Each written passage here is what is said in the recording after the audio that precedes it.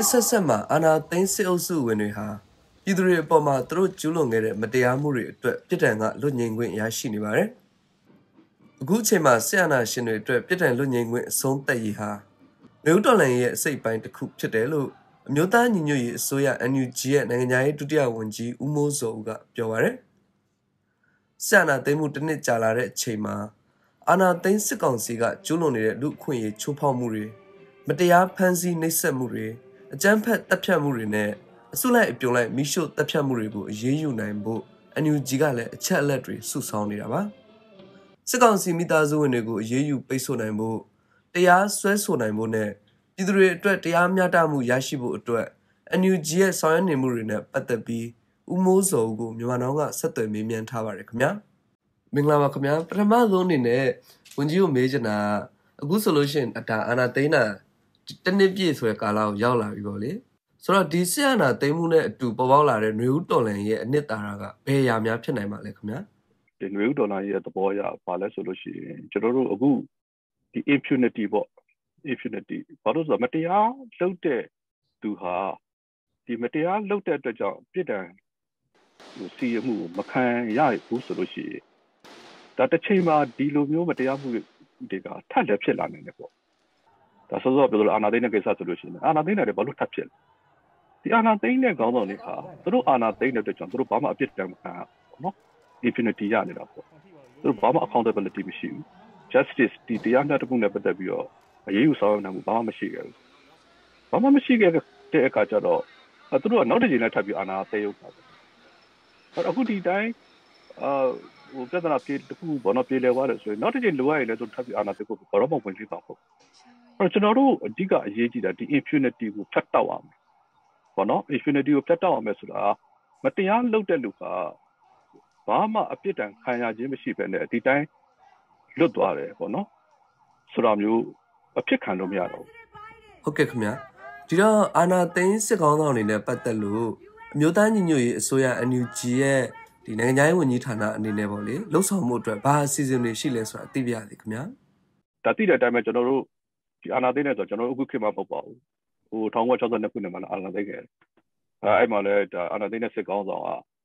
သူအာနာသိန်းတဲ့တော့ဘာအရေးယူခံလဲဘာအရေးယူမခံဘူးအေးစစ်စစ်ပဲသူ့သားသမီးတွေကလည်းဘာဖြစ်လဲသူ့သားသမီးတွေကလည်းဆက်လက်ကြီးပွားချမ်းသာတယ်သူ့မြေးတွေလည်းဆက်လက်ကြီးပွားချမ်းသာနေတယ်သူ့မြေးတွေအခုတည်းကျွန်တော်တို့စော်ကားတော့မယ်အခုတည်းကျွန်တော်တို့စော်ကားမှာပါတယ်ပြောနေတော့မယ်ဟောနော်ကျွန်တော်ဘာရေးယူမှုမရှိခဲ့လို့တို့အခုတည်းကျွန်တော်တို့စော်ကားခွင့်ရှိနေတာပေါ့နော် အဲ့ဒါလိုပဲ1988ကျတော့လဲအာနာသိမ့်နေအောင်အဲ1988မှာအာနာသိမ့်တဲ့အတွက်ကြောင့်လဲအာနာသိမ့်ခေါင်းဆောင်တွေကဘာရေးယူခံလဲဘာမှရေးယူမခံဘူးအမတန်ကြီးပွားချမ်းသာကြတယ်အဲသူတို့သားသမီးတွေကလည်းကြီးပွားချမ်းသာကြတယ်အဲသူတို့မြေးတွေကတခါအခုကြီးပွားချမ်းသာကြတယ်အဲသူတို့မြေးအစိမ်းလောက်ကစပြီးကျွန်တော်တို့စော်ကားကြတယ်အားတခါထပ်ပြီးတော့အခုအာ2021မှာအာနာသိမ့်ပြန်ပြီနောက်အာနာသိမ့်တဲ့စစ်ကောင်းတော့ဘာဖြစ်လဲအခုသူ့သားသမီးတွေကလည်းဘယ်လောက်ချမ်းသာနေကြလဲသူ့ထွေးသားချင်းတွေဘယ်လောက်ချမ်းသာနေလဲ သူတို့ဘာရေးယူခံလဲဘာရေးယူမခံဘူးအဲ့ဒီလိုဆက်ပြီးတော့ဖြစ်နေသူတွေကတော့ကျွန်တော်တို့တိုင်းပြည်မှာအာဏာသိမ်းတဲ့တန်ညာဘယ်တော့မှဆုံးမှာမဟုတ်ဘူးအဲ့တော့မတရားလုပ်တဲ့လူတွေလူခွေးချိုးပေါက်မဲ့တတ်မဲ့ဖြတ်မဲ့ပစ္စည်းတွေလူမဲ့မရိတ်ချင်မဲ့လူတွေဘဝတွေကိုဖျက်ဆီးပြမယ်အလုပ်ချင်တာလုပ်မယ်ပြီးရင်တို့ကအေးစီးတတ်တတ်တာပဲတိုက်ပြည်ပန်းနာပြည်နဲ့ဒါကြီးပွားချမ်းသာပြီးတော့အကောင်းဆုံးစောစောပြောသလိုပေါ့နော်သူတို့ရဲ့သားသမီးတွေအကောင်းဆုံးကျောင်းတွေမှာနိုင်ငံခြားကျောင်းတွေမှာထားမယ် အကောင်းဆုံးအိမ်တွေမှာနေမယ်အကောင်းဆုံးသောအခွင့်အရေးတွေကိုခံစားအဲဒီလိုမျိုးဖြစ်နေသူရေးကတော့ကျွန်တော်တို့တိုင်းပြည်မှာပေါ့နော်ဒီအစိုးတန်တွေကလည်နေအောင်ပါပဲတော့ဒီ impunity ကိုတော့ကျွန်တော်တို့ဖြတ်ပြရလိမ့်မယ်ဖြတ်ပြရလိမ့်မယ်ဒါကကျွန်တော်တို့ရဲ့ဒီနေဦးတော်နိုင်ရဲ့အဓိကအနှစ်သာရသဘောလို့ကျွန်တော်တို့မြင်တယ်ပေါ့ဒီနေရာမှာကျွန်တော်တို့လူပုဂ္ဂိုလ်တွေပေါ့နော်အာဃာတတွေနဲ့ပြောနေတာမဟုတ်ပါဘူးပုဂ္ဂိုလ်ရဲ့အာဃာတနေနဲ့မဟုတ်ပဲနဲ့ဒီလိုစနစ်က ဒီလိုမျိုး impunity ကကျွန်တော်တို့ဒုက္ခပေးနေတာဖြစ်တယ်ပေါ့နော်အဲ့ဒီ impunity ကိုဖျက်တောက်ရလိမ့်မယ်အဲ့ဒါကြောင့်ကျွန်တော်တို့ကအခုဒီအတွင်ကူပြောင်းရေးကာလတရားမျှတမှုပေါ့လေဒီ transitional justice ဆိုတော့ပြောနေတာဖြစ်ပါတယ်အဲ့တော့ဒီလိုမျိုးအတွင်ကူပြောင်းရေးကာလအတွက်တရားမျှတမှုကိုမရှာဖွေနိုင်ဘူးဆိုလို့ရှိရင်ဒီ impunity ပေါ့နော်မတရားလုပ်တဲ့လူတွေကဒီမတရားလုပ်တဲ့အပြစ်ဒဏ်ခံရမှုကိုမရှိဘူးဆိုလို့ရှိရင်ဒါတွေဆက်ဖြစ်နေအောင်ပါပဲဆက်ဖြစ်နေအောင်ပါပဲအဲ့ဒါကြောင့်ကျွန်တော်တို့ကတော့ ဒါအခုလောလောဆယ်လဲစောစောပြောတဲ့အရေးယူဆောင်ရွက်မှုတွေပေါ့လေတဲ့ institution အလိုက်ပဲဖြစ်စေဒီ individual ဒါတတိပုဂ္ဂလတယောက်ချင်းရေးယူမှုတွေသူ့ရဲ့မိသားစုတွေရေးယူမှုတွေအဲဒါတွေလုပ်နေတယ်ဆိုတော့ဟာကဘာမှပုံကိုရေးမဟုတ်ဘူးဘာမှပုံကိုရေးမဟုတ်ဘူးကျွန်တော်တို့ကမတရားလုပ်တဲ့လူကမတရားမှုတက်တော့အပြစ်ဒဏ်ကိုခံဖို့ခံရမယ်ဆိုတော့ဒီအယူဆပေါ့နော်အခြေခံယူဆချက်နဲ့ကျွန်တော်တို့လုပ်နေတာဖြစ်တယ်အဲ့တော့ဟိုဒါကိုလည်းကျွန်တော်တို့ကဆက်ပြီးတော့ကင်ဆယ်သွားရလိမ့်မယ်ဟုတ်ကဲ့ဒါဆိုရင်အဲ့ဒါတွေနဲ့ပတ်သက်လို့ စစ်ကောင်စီပေါ်ကိုအေးအေးယူနိုင်ဖို့အတွက်ဒီတွန်းကြီးတို့ရဲ့နိုင်ငံခြားရေးဝန်ကြီးဌာနကဘာတွေများဆောင်ရွက်နေလဲခင်ဗျာတည့်ရတဲ့အတိုင်းပဲလူ့ကွေချိုးပေါက်မှုတွေတော်တော်ဆိုးဆိုးဝါးဝါဖြစ်နေတာပဲရှိတယ်အခုနောက်ပိုင်းဆိုလို့ရှိရင်ဒါလူစုလိုက်အပြုံလိုက်တက်ဖြတ်တဲ့ကိစ္စတွေကိုတို့ကဒါထမင်းစားရီတော့ဒီဒီဒီလောက်လာတာရှိတယ်အဲ့တော့ဒါနဲ့ပတ်သက်ပြီးအချက်လက်တွေကိုကျွန်တော်တို့စုဆောင်းတာတွေနောက်ကဒီ evidence ပေါ့ဒါကိုတကယ်တရားဆွဲဆိုအရေးယူနိုင်တဲ့အခြေအနေရောက်တဲ့ evidence ဖြစ်အောင်လည်းကြိုးစားတယ်ဘာလို့ evidence ဆိုတာဟာ ကကျွန်တော်ဒီတိုင်းပေါ့နော်ဟိုဗာမီဒီယာမှာတက်လာတဲ့တဲ့တခုကိုဟိုပြောလို့ဟိုဒီ evidence အနေနဲ့ကောက်ယူလို့မရပဲနဲ့တကယ်ဖြစ်ပျက်ခဲ့တဲ့ဒီသက်တွေအနေနဲ့ပေါ့နော်ဘယ်လိုရှိသလဲဒီသက်သက်တွေထွက်ဆိုချက်ကဘယ်လိုရှိသလဲနောက်ဒီအဖြစ်ပျက်နဲ့ပတ်သက်ပြီးတော့ထောက်ထားပေါ့နော်ဘာတွေရှိသလဲစသဖြင့်နော်ဗီဒီယိုဘာလို့စာသူစံချိန်စံညွှန်းတပတ်ချက်တွေနဲ့ဒီတက်တွေပြည့်နဲ့သုံးပြလို့ရအောင် evidence ပြည့်နဲ့သုံးပြလို့ရအောင်ဒါမျိုးတွေကစကျွန်တော်တို့ရှာဖွေရတာရှိတယ် ရှာဖွေပြီးတဲ့အခါကျတော့လည်းကျွန်တော်တို့ပေါ့နော်ဒါလူခွင့်ချိုးပေါက်မှုနဲ့တက်ပြီးတော့ဒီလူခွင့်ဆိုင်ရာအာပေါ့နော်ဌာနတွေဟိုအဖွဲ့အစည်းတွေဒါ Human Rights Commission ပေါ့ကုလသမဂ္ဂဆိုလို့ရှိရင်လူခွင့် Commission လို့ပေါ့နော်လူခွင့် Commission မှာဆိုလို့ရှိရင်လည်းဒါဒါမြန်မာနိုင်ငံဆိုင်လွတ်လပ်သောအချက်လက်ဆိုင်ရှာဖွေစုံစမ်းမှုဆိုင်ရာနေရာဆက်ရှိတယ်လေ IIMM ဆိုတာအဲသူတို့နဲ့သူတို့ကိုလည်းဒါချက်လက်တွေပြန်ပို့ပြရတယ်သူတို့နဲ့လည်းပူးပေါင်းဆောင်ရွက်တာလုပ်ရတယ်ပေါ့နော်နောက်တော့ကျွန်တော်တို့ကိုယ်တိုင်လည်း ဒါ universal jurisdiction ဆိုတာဒါပြည်ပြည်ဆိုင်ရာမတရားစီရင်ခွင့်ပေါ့ဒါကိုအသုံးပြုပြီးတဲ့အခါကျတော့ချို့နိုင်ငံတွေမှာတရားစွဲတဲ့ကိစ္စတွေလုပ်လို့ရတယ်ဟုတ်ကဲ့ခင်ဗျဒီလိုမျိုးဒီအပြည်ပြည်ဆိုင်ရာတရားစီရင်ခွင့်ကိုအသုံးပြုပြီးတော့စစ်ကောင်စီเนาะရတဲ့နီလန်နဲ့တရားစွဲဆိုသွားကြမယ်ဆိုတော့ဒီဝန်ကြီးတို့ဒီဒီတရားစီရင်ခွင့်နဲ့ပတ်သက်လို့ပေါ့လေစ조사နေတဲ့အခြေအနေကိုလည်းရှင်းပြပေးပါဦးခင်ဗျာနိုင်ငံတကာဒီတရားရုံးတွေပေါ့ အဲသူတို့ရဲ့ဆောင်ရွက်နိုင်တဲ့အတိုင်းအတာတွေလည်းရှိရဲအဲ့တော့ဒါနဲ့ပတ်သက်ပြီးတော့လည်းကျွန်တော်တို့ကဒါဒီတရားရုံးကိုထိတွေ့ဟိုပြီးဆောင်ရွက်နေတဲ့ကိစ္စလည်းတပိုင်းပေါ့နော်နောက်တစ်ခုကကျွန်တော်တို့ကိုယ်တိုင်ဒါအရေးယူဆောင်မှုတွေပြုလုပ်နိုင်ဖို့ပို့လဲစူးစမ်းနေတာရှိတယ်အဲ့ဒါဘာလဲဆိုတော့ဒီ universal jurisdiction ဆိုတာဒီအပြည်ပြည်ဆိုင်ရာတရားစီရင်ခွင့်ဆိုတဲ့အခွင့်အရေးတစ်ခုရှိတယ်ပေါ့လေအဲ့တော့အဲ့ဒီ universal jurisdiction ကိုလက်ခံထားတဲ့နိုင်ငံတွေ ဒီနိုင်ငံတွေမှာနိုင်ငံတကာနိုင်ငံမှာတရားစွဲလိုက်တာနဲ့ကျန်တဲ့နိုင်ငံအားလုံးကဒါတက်ရောက်မှုရှိတယ်ပေါ့လေအဲ့တော့ဥပမာအဖြစ်ဒီတရားခံတရားကဒီတရားစွဲဆိုခံရတဲ့တရားကတဖန်ဝနထုတ်ထားတယ်ဆိုရင်အဲအဲ့ဒီနိုင်ငံတွေကတနိုင်ငံငံကိုရောက်သွားတယ်ဆိုလို့ရှိရင်သူ့ကိုဖမ်းလို့ရတယ်သူ့ကိုဖမ်းပြီးတော့ခါကျတော့ဒါတက်ဆိုင်နိုင်ငံကိုဟိုတွဲပြောင်းပေးအပ်လို့ရတယ်ပေါ့နော်ဒါ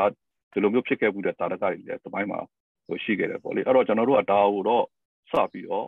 ဟိုခု ဟိုဒါကိုကိုယ်တိုင်နဲ့လုပ်လို့ရတဲ့အဲဒီဟိုပေါ့ဒီအရေးယူဆောင်မှုဖြစ်တဲ့ကြောင့်ဒီကိစ္စကိုတော့အခုစပြီးတော့ဆောင်ရွက်နေတာဖြစ်ပါတယ်ဆိုတော့အခုပေါ့လေဘယ်နိုင်ငံတွေမှာစပြီးတော့မှတရားစွဲဆိုဖို့အတွက်ကြိုးပမ်းနေတာရှိလဲခင်ဗျအဲ့လိုတရားစွဲဆိုဖို့ဟာရောဒီလက်ရှိဆောင်ရွက်နေတဲ့အချိန်မှာ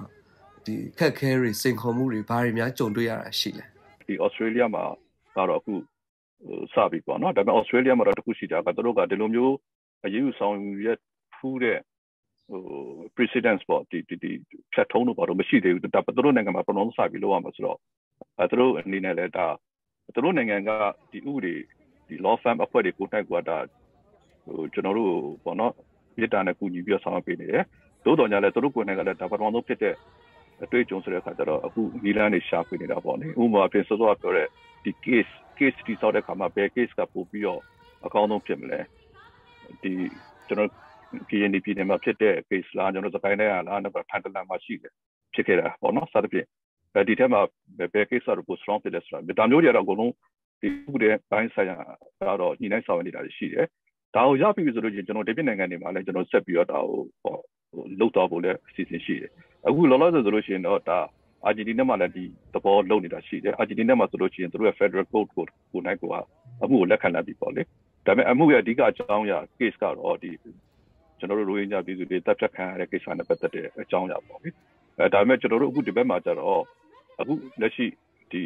လူဦးတော်နိုင်ကာလာမှာဖြစ်တဲ့ကိစ္စတွေကိုတော့ဒါကို case အနေနဲ့တိဆောက်ပြီးတော့စူးစမ်းမှာပေါ့လေအဲတစ်ချိန်တည်းမှာတခြားပေါ့ကျွန်တော်တို့လူခွေရေးနဲ့ပတ်သက်တဲ့စောစောပြောခဲ့သလိုပဲကျွန်တော်တို့ဒီအဖွဲ့အစည်းတွေကတော့အမျိုးစုံရှိတယ်အဲ့တော့ဒီအဖွဲ့အစည်းတွေလည်းတို့လုံနိုင်တယ်ကိုလုပ်ဖို့အတွက်ကိုလည်းကျွန်တော်တို့ကပံ့ပိုးကူညီပေးတာပေါ့နော်ဒီအချက်လက်ထောက်ထား အဖြစ်ဖြစ်စေစသဖြင့်ကျွန်တော်တို့ဟိုတက်နိုင်တဲ့ကူညီပေးတာတွေလည်းရှိတယ်အဲတခြားပေါ့နော်ဟိုနိုင်ငံကနိုင်ငံတကာဒီဟိုတရားရုံးတွေကနေပြီးတော့မှဆောင်ရွက်ဖို့ဆိုလို့ရှိရင်ကျွန်တော်တို့ဟိုတချို့ဟိုပေါ့နော်ဟိုအဖွဲ့အစည်းတွေနဲ့ချင်းကပ်တာဆိုလို့ရှိရင်ကျွန်တော်တို့ကူညီဆောင်ပေးတဲ့ကိစ္စတွေရှိအဲ့တော့ပြောမယ်ဆိုရင်တော့ကျွန်တော်တို့တော့နီလန်းအမျိုးစုံနဲ့ပေါ့လေဒီကိစ္စတွေကိုဟိုဟိုဆောင်ရွက်နေတယ်အနေဆုံးအပြင်ကတော့ကျွန်တော်တို့ကဒီအချက်လက်ထောက်ထားတွေကတော့တည်တည်ကြကြစနစ်တကျစုဆောင်းထားတယ် တစ်ချိန်ချိန်မှာတော့ဒါဒီကိစ္စတွေအလုံးဟိုကျူးလွန်တဲ့လူတွေဟာဒီသူတို့ရဲ့ကျူးလွန်မှုတွေကိုတောင်းယူရလိမ့်မယ်ဟုတ်ကဲ့ဒီလိုမျိုးအစုလိုက်ပြုံလိုက်တပ်ဖြတ်မှုတွေမှာပါဝင်ပတ်သက်တယ်ပေါ့လေဒီစစ်ကောင်စီအဖွဲ့ဝင်တွေပြီးတော့သူတို့ရဲ့မိသားစုတွေနဲ့ပတ်သက်လို့ဒီအရေးယူပိတ်ဆို့နိုင်မှုအတွက်ကောနိုင်ငံရေးဝန်ကြီးဌာနအနေနဲ့ဘာတွေများဆောင်ရွက်နေလဲခင်ဗျဒီနိုင်ငံတကာအရေးယူဆောင်ရွက်မှုတွေပေါ့အထူးသဖြင့်ကဒီကျွန်တော်တို့ရဲ့မိတ်ဆွေနိုင်ငံသားပေါ့နော် သူတို့ကနေပြီးတော့မှဒီအရေးယူမှုတွေကိုတစ်စီပြီးတစ်ဆင့်ဒါတိုးတက်ဆောင်ရွက်လာတာကိုဒါတွေ့ရမှာပေါ့လေပထမဆုံးအဲဒါသူတို့ဒီအစိုးရရထုတ်ပြန်ကြေညာချက်နဲ့ဒါရေးယူဆောင်ရွက်ခဲ့တာရှိတယ်အဲအဲ့ဒီလိုရေးယူဆောင်ရွက်တဲ့ခါမှာဒီအစုအဖွဲ့ institution အနေနဲ့သူတို့ရေးယူတာတွေရှိတယ်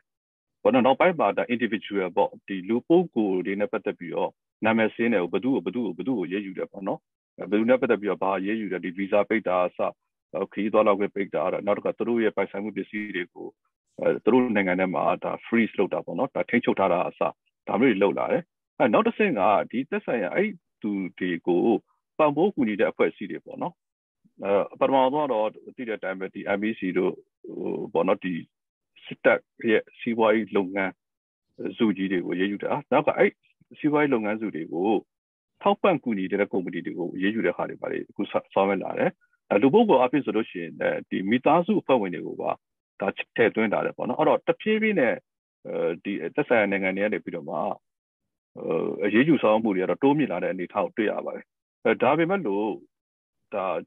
ကျွန်တော်စောစောကကျွန်တော်ဟိုပြောခဲ့သလိုပဲပေါ့လေအဲသူတို့မှချက်လက်ထောက်ထားတော့လို့တယ်အဲသူတို့ဒီတိုင်းတော့လုပ်လို့မရဘူးဟိုမိသားစုဆိုလို့ရှိရင်မိသားစုကဘလို့ထောက်ပံ့ပေးနေတာမျိုးတွေရှိတယ်လေဘယ်ဘယ်မှာနေတယ်လဲအဲနောက်ဆုံးသူတို့ရဲ့ဒီ ဟိုမှတ်ပုံတင်တော့ဘာလို့က date of birth တော့ဘာလို့အစဒါမျိုးတွေအစလိုအပ်တဲ့ကိစ္စတွေရှိတယ်ပေါ့နော်အဲ့တော့ကျွန်တော်တို့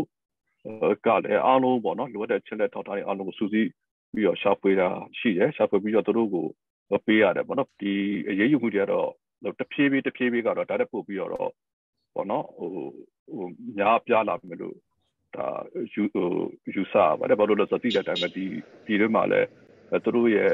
ဒီအချမ်းဖက်မှုတွေကရက်မှမရက်တာ ဒီလိုမျိုးရေးယူဆောင်မှုတွေအဓိကရွေးချယ်တာဒီလိုအချမ်းဖက်မှုတွေကိုရက်တက်အောင်ဆိုပြီးတော့ကြည့်ရတယ်ဒါပေမဲ့အချမ်းဖက်မှုတွေက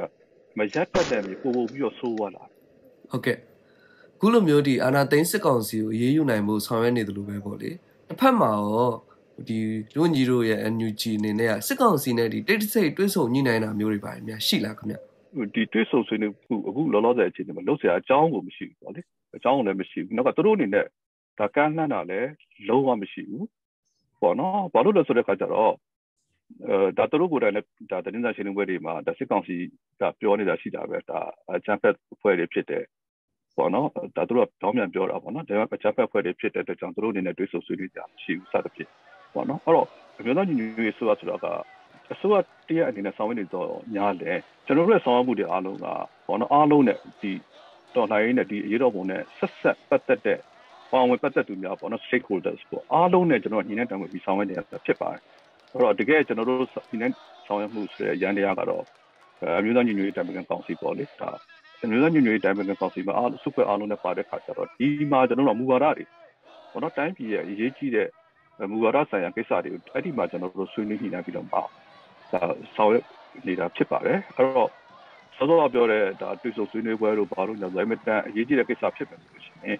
ကျွန်တော်တို့အားလုံးနဲ့ညှိနှိုင်းတိုင်ပင်မှုမရှိဘဲနဲ့ဘယ်တော့မှကျွန်တော်တို့လုပ်မှာလည်းမဟုတ်ဘူးလုပ်မယ်ဆိုရင်လည်းကျွန်တော်တို့ကပြည်သူလူထုကိုပွေ့ပွေ့လင်းလင်းချပြပြီးတော့မှဟိုခိုးတောင်ကူရပေါ့နော်ဘယ်သူမှမသိဘဲနဲ့တိတ်တိတ်ဆိတ်လှုပ်ရှားအကြောင်းလည်းလုံးဝမရှိပါဘူးကျွန်တော်တို့ပြည်သူလူထုဟိုအတိမပေးဘဲနဲ့ဒီလိုကိစ္စတွေလုံးဝလုံးဝမဟုတ်ပါဘူးဆိုတော့ဒါခုဟိုပေါ့နော်ဟိုဒါပြက်ပြက်သားသားကျွန်တော်တို့ပြောလို့ရပါတယ်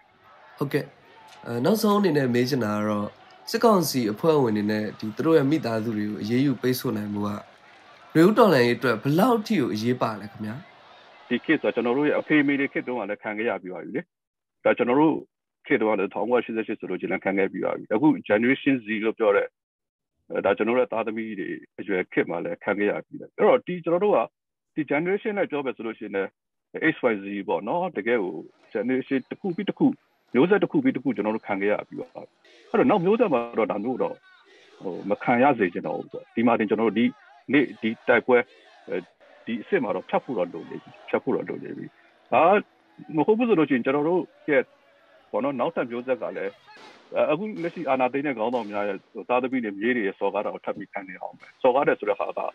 အဲဘောနော်ဒီတိုင်းပြည်ရဲ့ဘာနာငွေတွေကိုသုံးဆွဲပြီးတဲ့ခါကျရင်လှုပ်ချင်တာလှုပ်ပြီးတော့သူများကိုထင်သေးပြီးတော့ပြောချင်တာပြောတဲ့တန်တွေကိုဒီလိုမျိုးလူတွေကတော့ထပ်ပြီးခံစားနေရမယ်ဆိုလို့ကျွန်တော်တို့မဟုတ်တော့